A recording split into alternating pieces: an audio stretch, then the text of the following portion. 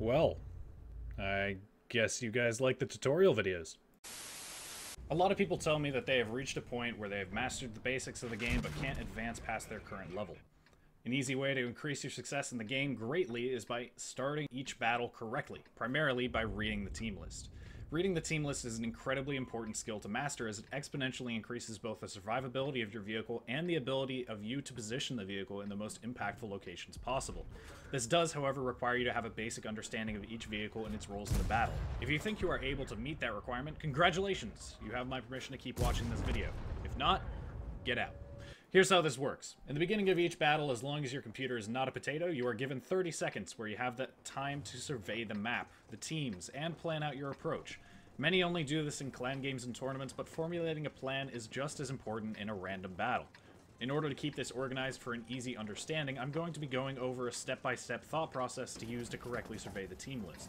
While this will take some practice to get down, it becomes eventually easier to consider all of these variables within the 30 seconds you are given. Towards the end of the video, I will show a couple of examples using these steps. Alright, here goes. Step 1. Check your vehicle.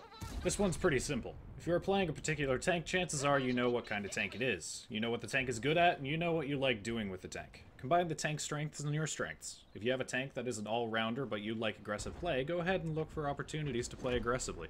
Equipment affects this as well. If you are set up as a passive scout, you are going to be more limited to different positions than if you are set up as an active scout.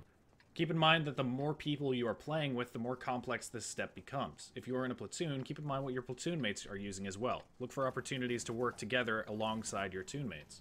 If you are in a clan event, particularly as a caller for the group, you'll have to keep in mind every single vehicle you are using simultaneously. This overwhelming amount of information is often why callers, including myself, tend to lean towards more pre-formulated plans rather than improving calls each battle. It's also why we're not going to be going over clan strategy this video, but I'll probably be making another video on that in the future. Step 2. Check the tier. This is self-explanatory. Are you top tier? Great. Are you bottom tier? Oh well, more XP and credits for you to get. All the same tier? That means we have an equal fight. Are you in a KV2? Everyone else is screwed anyway. This step is just important to keep in mind as you go through the next steps. If you're a top tier, you'll probably be the one making decisions, as you will have the greatest impact on the game. Where you go, the main strength of your team goes. If you are bottom tier, however, you have to remember to plan around the bigger tanks. Play off of your team's strengths. I'll talk more about what that means later. Step 3. Check the map. This is another step to just keep in mind. When you see a particular map, you should instantly be able to think to yourself, oh, on this map I like this spot and this spot in my tank. It's likely you'll be using these spots when you load in anyway, so it's good to keep this in mind. It's also important to consider which tanks have the greatest advantage on this map. If it's an open map, then you have to be even more scared about artillery. If it's a lot of bushes, you have to be worried about light tanks and tank destroyers. If you're on a map that has a lot of hills, try to keep in mind that the turreted tanks are going to be at a greater advantage than tanks without gun depression. A way to make this step easier and faster is by going into your general settings, finding the tips on the loading battle screen dropdown, and changing it to display minimap. This will allow you to view the map and your spawn while you are loading into the game, so even if you have a potato computer, you still have some extra time to plan out your movements. Step 4. Check for platoons. Platoons are super dangerous. Chances are good players with similar tanks to one another in a platoon will be functioning together. This makes them a threat on whatever flank they go to. Top tier platoons are particularly dangerous. If a platoon of good players is running the top of the list, you should always formulate your plan entirely around them. If you can counter them, great. Dedicate your plan to counter them. If not, do your absolute best to avoid them, especially if you're in a bottom tier tank. If platoons are not in similar tanks, however, and are in tanks with drastically different playstyles, they're slightly less important to worry about. However, it is important to keep in mind who is platooned with who. If you encounter someone later in the game that is platooned with someone else, expect them to help one another and work as a team much more efficiently than a random group. If you're cornering a certain player that is in a platoon with, say, a tank destroyer, chances are that tank destroyer is going to be in a position to support that player. Step 5. Check the enemy team for threats. Particular tanks are bigger threats than others. Obviously, tier is a big factor, but try to compare enemy threats directly to your tank. If you're in a slow heavy tank, check if the enemy team has high penetration TDs. Try to avoid where they may go. If you are in a medium tank, you can really go wherever you want, just be certain to avoid particularly unwinnable fights. For Artie, you should be locking onto the biggest threat in order to target them throughout the game. In tank destroyers, keep an eye out for a large amount of light tanks. In lights, keep an eye out for enemy light tanks who are better at spotting certain roles. For example, EBRs are a pain for other tanks if you are set up to active spot, because EBRs are pretty much superior to all other light tanks in an active spotting position. If there is an enemy EBR, usually best to play passive until they are dead. The most important thing, though, is to check how many artillery there are. Artillery are always a concern. Always. Step 6. Check the friendly team. Same thing. Check what your team has. Check what tanks are the most powerful on your team. Top tier, extremely strong heavies, strong friendly platoons, a large amount of a certain class of tank. If, your team, if you see your team has a large amount of mediums, for example, make certain to take advantage of all those mediums. Follow the group of them and form a wolf pack. Take advantage of a team with a lot of strong D TDs by spotting for them. That kind of thing. Step 7. Compare the weaknesses between the friendly team and the enemy team. Compare both teams. Which team is set up best for a particular side?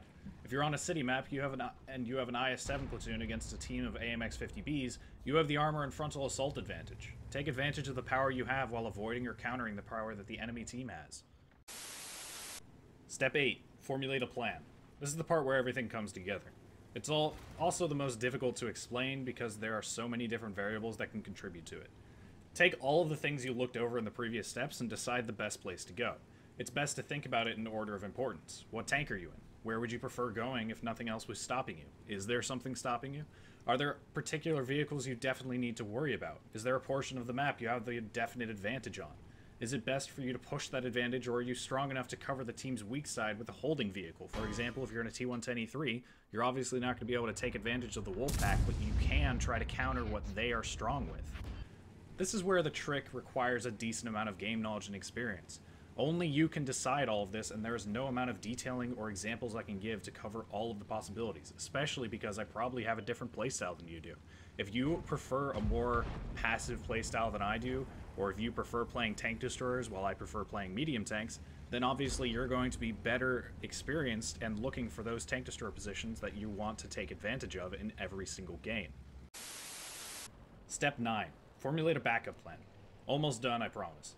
This is the same as the last step. Once the game starts, something may change your mind. The Wolfpack opportunity you were hoping to take advantage of may never begin. The team may completely abandon one flank for some reason, because random battles. If this is the case, and you aren't practiced enough in the art of making shit up, also known as improvising, then you should have a secondary plan set up during the countdown just in case everything goes wrong. Step 10. Adjust as needed. Just because the countdown ends and the battle begins, you are not done reading the team list. The game changes all the time. A fight you expected to win might not go your way. Tanks may deploy differently than expected. Keep in mind which tanks you still have alive on your team and adjust your play accordingly. If the big threats on the enemy team are taken out early, maybe it's time to start playing more aggressively in order to keep contributing to the game and reaping the rewards. If the opposite occurs and you're the one on the defensive, maybe it's time to run for your life. If artillery drowns itself, maybe it's time to report them. You know, the usual stuff. Now, obviously, this process seems simple enough on paper, but it is a lot more difficult to apply to each individual game. And the only way you're going to get experience with this is by practicing. The more of these games and scenarios that you run through, the easier it will become. I'm going to run through a couple of examples just to really show the thought process I go through for each battle. I'm going to be doing it with a paused screen because otherwise it's a lot more difficult to communicate effectively within 30 seconds. You should be able to think a bit faster than I'm able to talk and explain things. I'm talking too much. Let's just get into it. So for these first two examples, I'm going to walk through step by step so that it's easier to follow, but for the other ones, I'm probably going to be going through exactly what my thought process is so you can see how fast you should be trying to do this. So step one, check your vehicle. In this battle, I'm in the AE Phase 1. Uh, what I know about this tank, it's got good turret armor, except for that little cupola there. It's a good frontal fighter. The side is very weak, so it's very weak to getting flanked. Its lower plate armor is very weak as well, so I'm going to be wanting to fight hull down, and because my gun depression's so good, I have the opportunity to do that. I have a very punchy gun that will be able to penetrate almost anything of my tier and a bit higher. And yeah, it's a very good all-rounded tank. I just have to be very careful not to get outflanked. So I don't want to be going to anywhere open, and I also don't want to be focused down by artillery if possible. So step two, check the tier. Well, it's a tier 10 game. There are no tier 8s, but there are quite a few tier 9s, so I'm pretty fine with that. Check the map. We are on Tundra. Tundra has a very interesting hill over here. I like this spot here. Tundra also has this location over here. That's a good heavy spot. This spot here I could use if I wanted to just hold, but I'm not sure that that would be too useful. Check for platoons. Well, I'm in a platoon with two other players, one of which is my artillery friend, and the other uh, one is my Emil 2 friend. So I have the opportunity to work with the Emil 2 and the artillery if need be, and I can trust that my artillery platoon weight will be giving me support fire. And so this would be a good time to check where my artillery friend is going. Uh, check the enemy team for threats. Well, they have a platoon 1, which is a 7-1, and a tortoise together. That's not too big of a risk. They might push down the 1 line together, but I don't see a tortoise going down the 0 line with the 7-1. Uh, they have an RU-251 and a GW Tiger, so I know that wherever that RU is going to be, the GW is going to be giving him support fire so I'm going to have to worry about that. As far as the actual tanks go, they have two artillery. They only have one light tank, which isn't too big of a deal. Those two 430s are pretty dangerous, but I know that on places that require gun depression, they're not going to be too much of a risk. That 7-1 will be a bit more of a risk, but I can now trade him. They have an AE phase 1, that's not too bad. The Mäuschen's a pretty easy penetration if I uh, load heat, so if I go this way and I meet the Mäuschen, because he's probably going to be going that way, then that would be a fairly easy kill for me. But I do have to worry about those artillery, and if they're sitting here, then they're going to have constant fire into this. They also have a 4005, and the 4005 tends to like to sit here and counter anything that tries to go hull down here. So I'm going to have to be careful about that. They also have two other very dangerous tank destroyers as well here. These guys might be sitting back here and providing support fire for this, but I am more afraid of this because this allows me to stay hold down, whereas this side I might just get focused by HE nonstop. Plus, if we manage to take Hill, Hill is a very advantageous spot on this map, so I'm leaning a bit more towards this spot. Check friendly team for weaknesses. What do we have? We have a faster heavy tank than their than their top heavy tank. We have a Leopard versus their ST2. That ST2 is going to be a bit of a threat because he can just win over this side pretty easily. We have two medium tanks, so we, again, have advantage over here. We have a Grille 15, a Stridsvagn, and an E4, so the Grille is probably going to be able to sit back here. Maybe one of them will counter this side. We don't know. Uh, T10, T10 is a fast heavy tank, so we're this side's looking really bad right now because that's where the heavy heavies want to go. We have an E50, that's not too bad. We have a 430, a Waffenträger Panzer IV, and a T49. So we have pretty much the same thing they do for the lower half of the team. So now it's just a kind of decision making where do I want to go. So I'm leaning towards this side because that's good. If I was in a hole if I was in a holding heavy, if I was top tier, maybe I would go this way and I'd take my Emil 2 with me and then we would be able to hold this side out with artillery support. Unfortunately, we don't have the opportunity to do that because they have much heavier heavies than we do. So instead, I'm going to be focusing on this side and I'm going to be pushing up this side. If this fails, I might be able to drop back to here if absolutely necessary, but usually going this spot means you're fully committed here. But I don't see that being too much of an issue. We should be able to win this side pretty easily. Uh, and my Emil 2 friend says he wants to hold this side, so we're not going to be working together. He's going to be using this, and he's going to be holding this location here if they bum rush that side. So yeah, that'll be the plan. All right, let's show a mid-tier one. Say you're in a Poodle, you're on Prokhorovka. Prokhorovka is a pretty rough map because the Poodle is pretty slow. It's a big target, so what are you going to do? Check your vehicle. What's the poodle good at? Well, I just said, the poodle is slow. It's a pretty big target, so you're going to have to hide it somewhere. Uh, you don't really have much camo to work with. You can't really work with your alpha damage. You don't have enough gun depression, so you're pretty limited. Right away, I can tell that I'm probably going to want to either sit in the very back corner of the 1-2 line, or I'm going to want to sit somewhere in this area. I can't go here because I don't have the gun depression. If I go here, then you'll just die. And then check the tier. It's an all tier 6 game, so that makes it pretty easy. Uh, check the map, Prokhorovka. Obviously, I'm combining uh, steps 1 through 3 a little bit here. Uh, check platoons. What platoons have they got? They've got one KV2 and one Jagdpanzer 4 platoon. That's not really too much of a threat. If I was if I was to see the KV2 over here, then that would be a bit of a problem because I'd know the Jagdpanzer 4 is here. If I was to see the KV2 here, then the Jagdpanzer 4 might be here, so I could keep that in mind. Uh, check the enemy team for threats. Obviously, they have a KV2, but on this map, that's not too big of a deal. Um, what else have they got? They've got a lot of medium tanks, so there's probably going to be a pretty large fight that's going to be happening over on this side, because that's where medium tanks like to go. At the same point, they could be trying to push up the 1-2 line. I'm going to have to be careful of that, but the main threats are these artillery. The artillery are a huge threat on this map, along with the light tanks. So they got three light tanks, one of which is an AMD, so he's going to be running around the mid line, probably with one of the other light tanks. One of the light tanks will probably be going the 1-2 line to this little bush spot here. So I'm going to want to be careful of the light tanks and be aware that I'm going to be constantly spotted. So if I go here, I'm going to be constantly spotted. But if I go back here, then there's the same risk that the light tanks are probably going to be able to spot me from here. So I have two options. I can either go to here or I can go to here. Uh, personally, in this situation, I would go here because you are able to pull out of here if absolutely need be, whereas on the 1-2 line, you're going to have to go a very long distance to pull out, and these light tanks will probably light you to smithereens before you get out. So in this case, I'm going to go here. Let's see how that ends up. Alrighty, last example, I promise. So on this map, I'm in the Borovsk. That means I'm fast. I can get out of situations, so I can play a little bit more risky. But I also don't want to be getting myself into a situation where I'm going to have to trade with an opponent because I'm probably going to get myself wrecked. So instead, I'm going to be wanting to work on playing support, especially because I'm in a tier 10 game and on a wide open map. So I'm going to be having to worry about getting wrecked by a lot of tanks that are a lot bigger than me. So to do this, uh, first option, I can go over here. I can also go over this way if need be. I could try to go to here and snipe across to this. I could try to passive scout in here, but they have an even 90, so that's a little bit risky. They also have a lot of TDs, so this area here is going to be very, very scary indeed. We have quite a few TDs as well, but here's the main face-off. The top tank on both teams, there's a 140 on their side and an Action 10 on our side. So the Action 10 has an advantage here.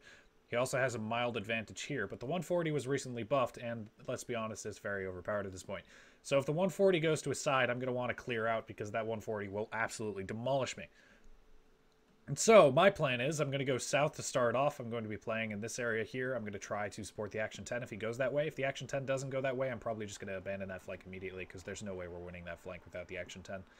Um, if the action 10 does that way and we try to take the spot, but if the action 10 dies, then I'm going to clear out. Because I'm fast enough, I can switch to this other side here. So this will be my backup plan. If we lose this side, then the only chance we have is to completely demolish this side. The way to do that in a Borovsk, I can't really go hull down, I can't do anything fancy like that, but what I can do is support the M103 who has the advantage on the heavy side. We have a serious advantage on the heavy side because we have more turreted armor. Look at this T30 versus their Conway and 704. We have that WZ. That guy's a tank, obviously. I mean, all of us are tank. Whatever. You get what I mean. We have the Death Star versus their Death Star. Jaeger is much better than E4. We should be fine on this side. The way to play this side is going to be bullying people on this ridge, so I can I can annoy them a bit while they're fighting this, and then I can cycle back this way. Um, if we do, in fact, win this side, for some reason, we should win this top side even without me going over there. So if we win this bottom side, we win the game. If not, we're going to have to make sure that we win this top side, and then we can work on the rest of the map. So that's it. Those are all my tips for reading a team list. Honestly, if you made it through all the way to this part, uh, I'm pretty impressed. I was watching back the footage of the thought processes and step-by-steps of all those examples, and honestly, I was getting a little bit bored. So hopefully it's a little bit more exciting for you guys than it is for me listening to my own voice. But either way, yeah, that's the entire video. Thank you guys so much for the amount of support that you guys have been giving on the tips and tricks videos. I'm actually blown away by how popular they have gotten.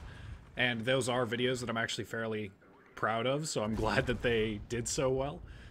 Uh, obviously, I'm doing the tips and tricks videos because that's been what has been requested very often. A lot of people are asking for more advanced tips, so here you go. A slightly more advanced tip than the basic ones that I gave earlier. Uh, obviously, I can go even more advanced. I'm, I'm working my way up there. Uh, the next video I don't really know about, so you guys are, of course, more than welcome to leave comments. I promise I will read them all. Uh, if any fun suggestions pop up, then I'll be sure to look into it. Uh, I'm still going to be uploading the uh, clan specials that we have every once in a while for DRK, because those are the ones that I enjoy making the most, but I'm, I'm really glad that you guys are enjoying the tutorial videos as much as you are. That's about it. I uh, I hope everybody has a happy Thanksgiving. I'm hopefully going to be able to upload this prior to Thanksgiving, and I'll see you all in a month or so.